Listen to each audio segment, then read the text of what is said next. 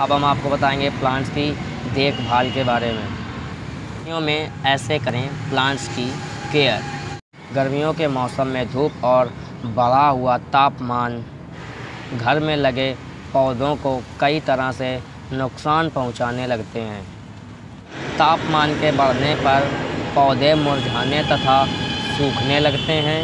सूखने से बचाने के लिए पौधों को अधिक देखभाल की आवश्यकता होती है। तो आज की इस वीडियो में हम आपको बताने वाले हैं, गर्मियों में जो पौधे होते हैं इंडोर प्लांट्स आप उनको किस प्रकार से बचा कर रख सकते हैं, किस प्रकार से आप उनकी केयर कर सकते हैं। तो चलिए फटाफट से वीडियो आज का स्टार्ट करते हैं बिना किसी टाइम वेस्ट किए और आप फटाफट से चैनल को सब्सक्राइब कर लीजिए, वीडियो को लाइक कर दीजिए। और अभी मन ना हो तो अभी ना करें, जब आपको हमारी जानकारी अच्छी लगे तब भी आप वीडियो को लाइक कर सकते हैं। सब्सक्राइब ज़रूर कर लीजिए। हो सकता है शायद अगली जो वीडियो बनाए, उसमें आपको जानकारी अच्छी मिल जाए।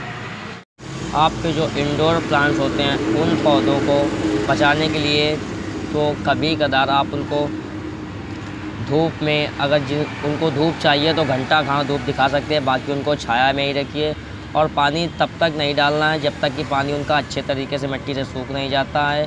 नमी बनी रहनी चाहिए इतना पानी पड़ता रहे। बिल्कुल सूखने पर हो, होता है तो ज़्यादा दिक्कत हो जाएगी। आपको उसमें परमानेंट नमी रखनी है नॉर्मल नमी रखनी है आपको इतनी बने रहने देना और इसके बाद जो गर्मी के सीजनल पौधे होते हैं जैसे कि कोचिया हो गया सूरजमुखी नौरंग जीनिया फोटोलाका कासमस ये फ्लावरिंग प्लांट है। लेकिन धूप गर्मी के होते ज़रूर है लेकिन इनको प्रॉपर धूप बर्दाश्त नहीं होती है।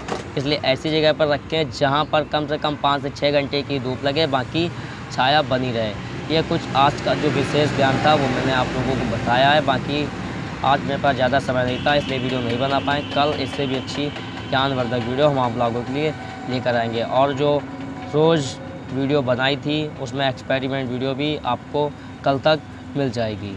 सुगंध नर्सरी में आपका स्वागत है। वीडियो को लाइक करिए और चैनल को सब्सक्राइब करिए।